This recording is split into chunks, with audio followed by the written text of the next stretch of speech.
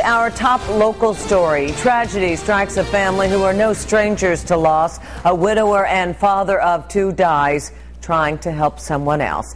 David Babcock saw a boat run aground in the waters near his home and jumped in to offer a hand.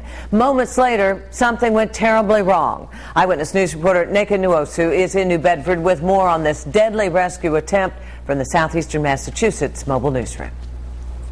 Well, friends and family members tell us that David Babcock was always willing to help someone, and he certainly proved that yesterday when he saved a man's life and made the ultimate sacrifice. Dave, you know, he's always had a big heart. Friends and family say David Babcock had to do something last night when he saw a man who appeared to be drowning in the water right behind his home on Padanaram Avenue in New Bedford. David ran into the water and was able to save the man. What happened next is still a mystery.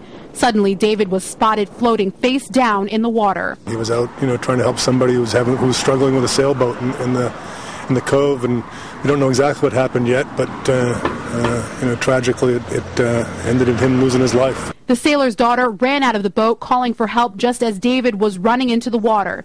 Dave's neighbor says he heard the commotion and tried to help, but it was too late for his friend. I just came out, ran down, got in the water brought him out. We tried CPR. We had two people on him, but um, I think he was gone by then. Dave's family tells us the 59 year old was a widower who was making a new life with his girlfriend. He was retired and volunteered with the Boy Scouts, New Bedford schools, and enjoyed working on his home. But he was happiest being with the ones he loved. He's going to be missed by an awful lot of people.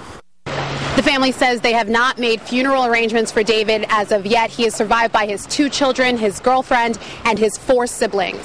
With the mobile newsroom, I'm Neka Nwosu, Eyewitness News.